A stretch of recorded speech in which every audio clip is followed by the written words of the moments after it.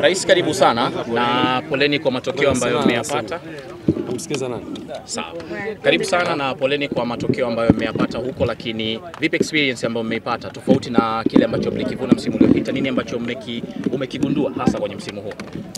Uh, kwanza tunamshukuru Mwenyezi Mungu uh, leo kuwa hapa, tumerudi safari kuwa ndefu, lakini safari salama. Tumerudi uh, tumetua mchana huu um, tukitokea Khartoum uh, katika mchezo ambao ulikuwa ni Champions League, mchezo wa marudiano dhidi ya uh, El, uh, Al Hilal.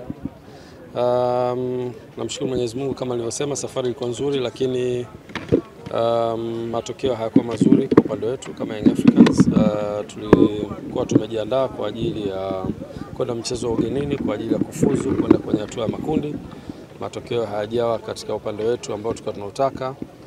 Um, lakini chukua fursa hii kuwashukuru uh, wanachama na wapenzi wa Young Africans uh, kwa kuendelea kuiunga mkono timu yao, lakini chukua fursa hii kuwapongeza sana wachezaji pamoja na technical bench kwa kujitoa uh, 100% katika mchezo huo. Uh, kwangu mimi wachezaji wetu walikuwa mashujaa jana, mazingira yalikuwa ni magumu sana uh, especially away games uh, tena kwenye uwanja wa Al Hilal. Nafikiri tuliona some of the videos za mechi iliyopita dhidi ya St George, zile zilikuwa rasharasha. Jana ndo tulipata ile episode yenyewe sahihi.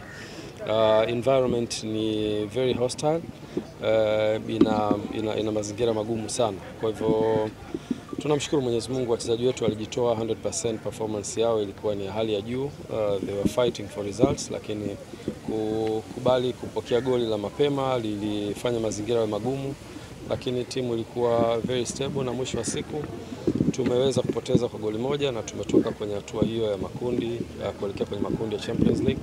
Um, tunarudi sasa tukiwa um, hatujatoka kabisa Afrika, tunaingia kwenye dirisha jingine la CAF Confederation ambalo na lenyewe pia litakuwa na um, draw yake nafikiri inafanyika kesho, na baada ya hapo nafikiri mechi mbili za nyumbani na ugenini ili kuruhusu kuingia group stage zitafanyika between tarehe mbili mpaka tarehe tisa mwezi wa 11. Kwa hiyo ni chukue fursa hii kuwashukuru wote ambao walitusupport katika hatua hii, lakini wapongezi wachezaji na technical bench na mashabiki wetu na mwisho kabisa ningependa kuchukua fursa hii kumtakia pole afisa uh, habari wetu uh, Alikamwe ambaye kiukweli alikuwa na wakati mgumu sana kwenye safari hii. Alipata taarifa ya kifo cha mwanaye uh, masama dakika kadhaa tu baada ya kutua Ethiopia uh, tukiwa tuna uh, connect kwenda Sudan, na taarifa ile kwa kweli ilimdemoralize sana, na sisi tulipokea kwa masikitiko makubwa. Uh, na amekwenda safari yote hii na kurudi akiwa ana majonzi makubwa ya kuondokewa na mtoto wake. Tunamwombea Mwenyezi Mungu ampe uimara uh, na nichukue fursa hii kumwachia yeye sasa aendelee, atakuwa na details nyingi kwa ajili yenu. Asanteni sana. Eh, nye vipi? Vipi hiyo vipi? Wewe unatokeaje mabati mabovu juu huko?